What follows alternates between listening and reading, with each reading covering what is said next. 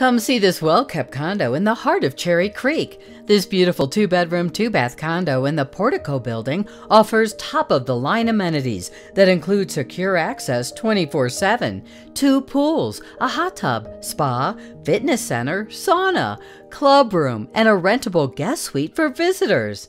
This amazing condo boasts a large master suite with a cozy fireplace, private balcony, and an attached five piece master bath with a large walk in closet.